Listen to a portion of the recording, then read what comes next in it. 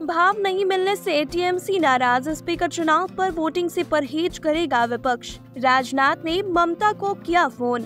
लोकसभा अध्यक्ष, स्पीकर पद के लिए संसद में सत्ता पक्ष और विपक्ष के बीच रार ठन गई है। दोनों ही तरफ़ से उम्मीदवार मैदान में है। एनडीए के पास इस पद को जीतने के लिए पर्याप्त संख्या बल है।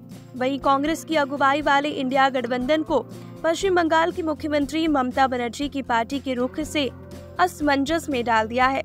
टीएमसी का कहना है कि स्पीकर चुनाव के लिए उम्मीदवार का चयन करने के लिए उनसे नहीं पूछा गया। ऐसे में अगर स्पीकर के चुनाव पर वोटिंग के दौरान टीएमसी सदन से बाहर भी चली जाती है तो इंडिया गठबंधन की किरकिरी हो जाएगी।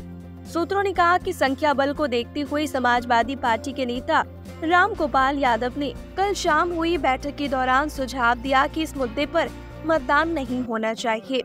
ऐसा कहा जाता है कि टीएमसी भी इस विचार से सहमत है। आपको बता दें कि इस बैठक में टीएमसी सांसद डेरिक ओब्रॉयन और कल्याण बनर्जी भी शामिल हुए थे।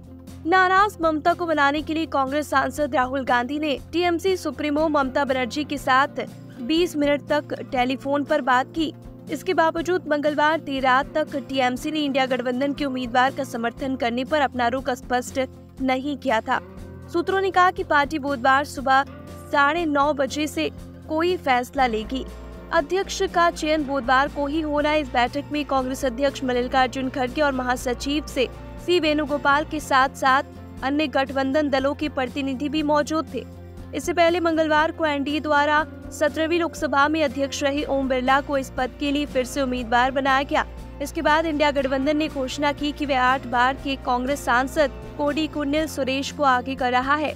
कांग्रेस ने पहले सुरेश को प्रो टर्म अध्यक्ष नामित करने के लिए ज़ोर दिया था। इस आधार पर कि वह लोकसभा में सबसे वरिष्ठ सांसद है।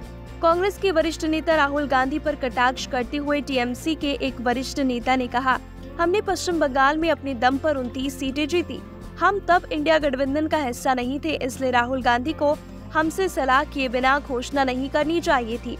हम यहाँ आपके निर्णय के बाद आपकी बात मानने के लिए नहीं है। सूत्रों ने कहा कि टीएमसी को लगा कि अध्यक्ष पद के लिए चुनाव लड़ने से विपक्ष की अपर्याप्त संख्या और उजागर होगी। एनडीए ने भी ममता बनर्जी से संपर्क किया है। सूत्रों ने कहा कि रक्षा मंत्री राजनाथ सिंह ने मंगलवार दोपहर ममता को फ़ोन किया।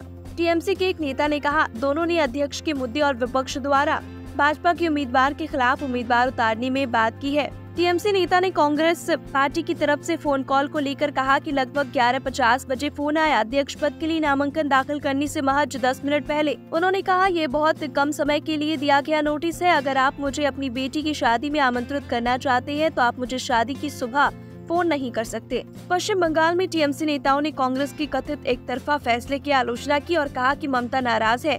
सीएम के करीबी सूत्रों ने कहा कि वह इस बात से हैरान थी, बिना किसी दल से चर्चा के नाम की घोषणा कर दी।